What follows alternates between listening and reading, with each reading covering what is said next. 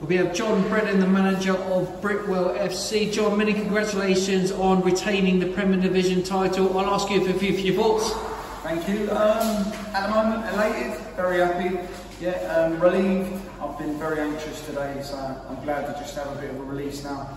I know that we got that sealed, but also I've got my mind on other things now because obviously I want to enjoy this much tonight, but then my mind's still going to wander about the League Cup final, a couple of semis we got, and yeah, other things that we want to grab. Yeah. Talk to you talked about how you were feeling in, in the build up to this game because you've had, in fairness, opportunities to wrap it up before. Mm. For reason another didn't happen, and it did come down to, to a final day decider. Yeah, yeah. I mean, we we should have wrapped it up against Griff. We let them back in, one thing led to another, and that's where we were today. Um, I know I'm probably not shouldn't mention this, but I mean I didn't expect Southcote to be in this position, but when um, the turn of events happened and, and they, they, themselves into this position, we just had to accept it and and uh, play what was in front of us, and that's exactly what we did tonight. What was your thoughts uh, or, or talk to the players coming into this match, obviously, because you are the defending champions and you had the upper hand of the two-point lead and beating South Southcote twice already this season? I was just, I've, my, my team talks have been a lot this season as it was tonight, but even more vociferous tonight.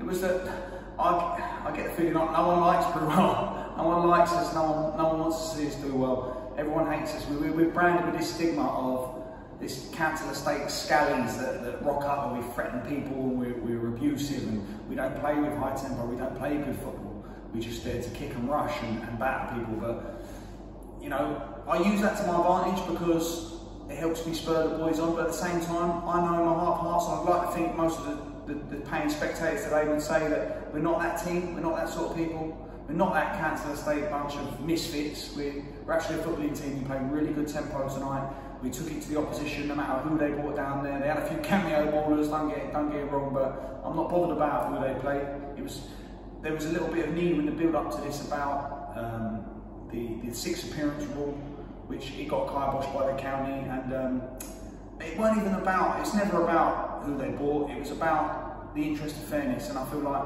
in the interest of fairness and integrity, we should have had the players that play week in, week out, you're in, you know, your core of your squad, and then that gives the, the, the gives the competition the respect it deserves. Some people want to bend that respect and they don't want to play the players that have been there every week.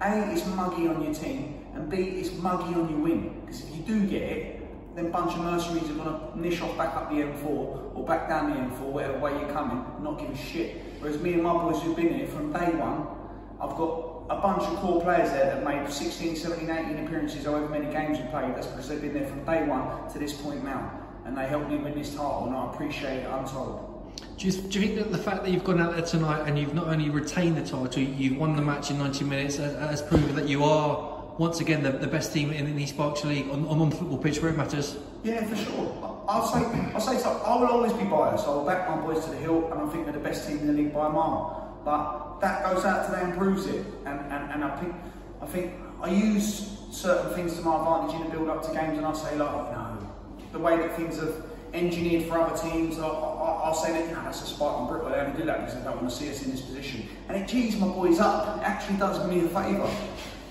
And honestly, not only have you have you retained the title, but you are, without shadow of doubt, the best side in, in the league at the moment. You beat off the likes of Southcote, the Young Pretenders, Old Windsor. How does it make you feel personally as the manager of the team to, to keep hold of that Premier Division title for another season? I'm over the moon. I'm over the moon. It ain't even about me. I, I, I just I get all the cogs and make it a will. It's about that will. And there's big factors in that will, like Sean Wright, who was here tonight, the chairman of our club, who's been there since 1974 since our club was founded and he's watched us out there and he just said to me, you've made my week, you've made my month, you've made my year. That means more to me than anything, anything. I've got my kids here that grew up on a Britwell. I, grew up on the Britwell. I've got all of my, my supporters over there. Nine out of Aidan Christian scored two goals tonight. That lad was born and raised Britwell. I, I've known him since we grew up on the Wentworth. I'm knocked around his brothers, his sisters, his mum, his dad, everyone. That is, that is what our club's about. That's the ethos of Britwell FC. I've got to ask you about the match itself. With all the pressure coming into it, it was a winner-takes-all match, and you ran out fairly comfortable 3-1 winners. Yeah, yeah. There was some, they're an active team. I'll give them the respect they're due. They're an active team. They've got quite high tempo, and they've got some good players. We know that they've got weapons. So I was really happy with the way we exerted ourselves in the game. And our tempo was, you know, as high as it's been all season. And, and the way that we defended as well, that was what impressed me the most. Because a lot of times this season we give goals away we've been a bit lacklustre in our defending. But today it was sort of empty out, squeeze, push, power, pace. And that's exactly what our team's about. And I was just over the moon with it. Did you have any nervous moments when there were a couple of chances, the, the missed penalty uh, and, and Cheyenne as well, getting close to goal, where could have wrapped up a little bit earlier? Yeah, Cheyenne could have, he sort of fluffed. It's typical Cheyenne really, because he scored the hardest chances and he'll fluff the easy ones. But in fairness, I, wasn't in a panicking situation because we were 3 1 up at the time when Aiden missed the pin and also when Cheyenne missed that chance. And with our team, we never, never say die. Never, we never roll over. Even we played South Southcote over at Airgaff on a matchbox pitch. It was, it was a pile of poo, and um, we was they, they, they went two one up, and we pulled it back. The minute we pulled it back to two two, I knew we was going to win the game. You know, I'm not saying I'm mystic, mate, but I could just see that I could envisage the way it was going to pan out, and and that's the faith that I've got in the boys each week. Even when things get a little bit hairy, my inner monologue says to me, "Chill out, it's going to be fine. I know it'll be fine," and then it all works out. I remember you, you and I had a conversation with, with Ultimate 11 at the start of the season, and you said this year Britwell FC want to win everything. You've got the main one in the bag, you've retained the Premier Division title, and there's lots of cup competitions still still to play for the season. It's yeah. by far from over from you guys yet, is it? Yeah, no, no, no, it's definitely not over. We were in the League Cup final, we got a Windsor, who are um, more than capable adversary. We've got two cup semis, the Ascot and the Norfolkian, and we've got the Challenge Cup still to play for. And I fully intend to give them every last inch of what we got because there's not one nor the other that we want to win more. We want the lot. Hmm. And what is, what is I know it's a, it's a league in transition at the moment, but what does the future hold for Britwell FC? It's, it's hard enough to win the league. You've now retained it the first time since 2016. Is the challenge now for you guys to say to take on all comers and see, what comes next? In terms of what, what comes next for Britwell, I've got a lot of questions I ask myself.